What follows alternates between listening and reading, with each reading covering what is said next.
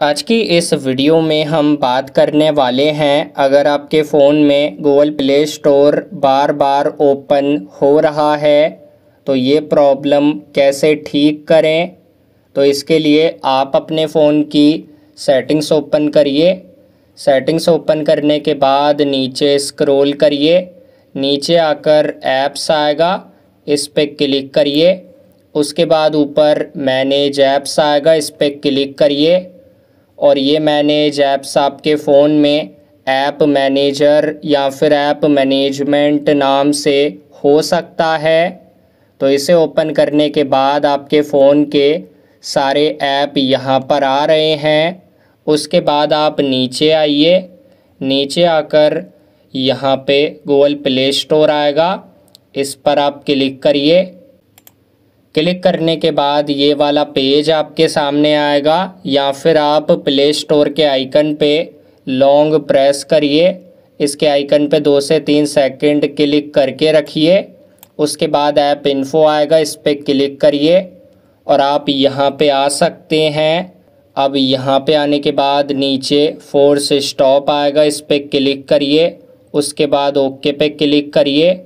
ऊपर स्टोरेज पे क्लिक करिए। नीचे क्लियर डेटा पे क्लिक करिए, क्लियर ऑल डेटा पे क्लिक करिए, यहाँ पे ओके पे क्लिक करिए। अब यहाँ पे डेटा क्लियर करने के बाद बैक आइए। बैक आने के बाद यहाँ पे ऊपर तीन डॉट पे क्लिक करिए।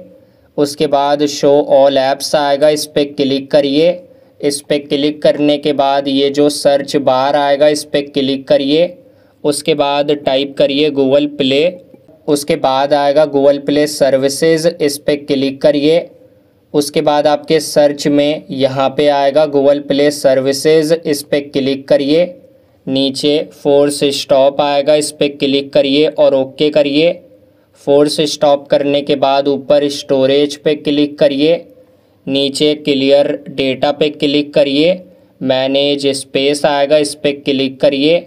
उसके बाद आएगा क्लियर ऑल डेटा, इस पर क्लिक करिए, उसके बाद ओके पे क्लिक करिए और ये करने के बाद अपने फ़ोन को एक बार बंद करके चालू करिए। उसके बाद आपके फ़ोन में अब गूगल प्ले स्टोर बार बार ओपन नहीं होगा। तो इस तरीके से आप अपनी प्रॉब्लम ठीक करें। वीडियो पसंद आई तो इस वीडियो को लाइक ज़रूर करें।